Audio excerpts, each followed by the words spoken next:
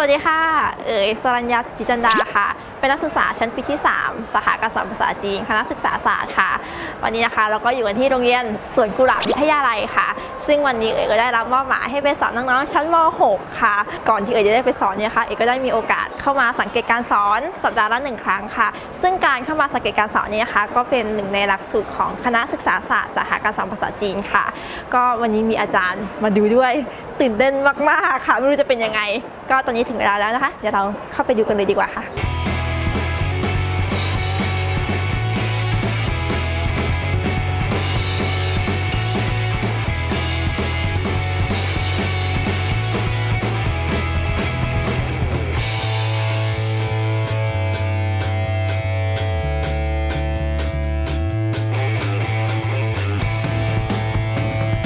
两位吗，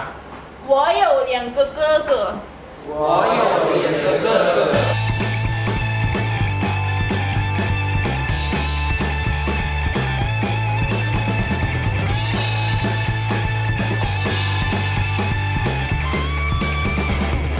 สนุกดีครับได้รับความรู้แล้วก็สามารถนำไปใช้ในชีวิตประจำวันได้มากขึ้นครับผมเล่นเกมอะไรก็สนุกดีครับได้ความรู้ด้วยครับสอนดีมากครับได้ความรู้ใหม่ สนุกมากครับก็ได้ศัพท์ใหม่เยอะดี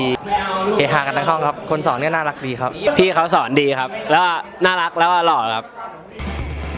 ก็รู้สึกสนุกค่ะ ก็เรียกได้ว่าอัดแน่นมากๆค่ะ ตั้งแต่สื่อการสอนนะคะ เอ่ยก็มีการเอา ภาพยนตร์เรื่อง Transformer มาทำเป็นสื่อ ก็คือมีวิดีโอบทสนทนา แล้วก็ PowerPoint ที่ตกแต่งด้วยตัวละคร Transformer ค่ะ เพราะว่าเด็กที่นี่เป็นเด็กโรงเรียนชายล้วนเด็กก็น่าจะชอบอะไรที่เกี่ยวกับหุ่นยนต์อะไรอย่างเงี้ยค่ะ ไม่ตกเทรนด์ด้วย ก็ยังมีการบ้านค่ะ ซึ่งเอ๋ยก็มอบหมายให้เป็นให้เด็กทำวิดีโอ เพราะว่าอะไรที่เขาได้ใช้ความคิดของเขาเอง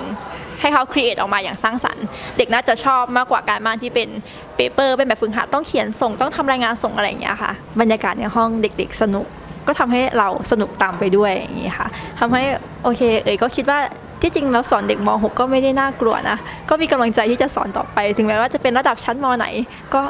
ได้มาเลยอะประเมินตัวเองเหมือนกันวันนี้เต็มร้อยให้ตัวเองเท่าไหร่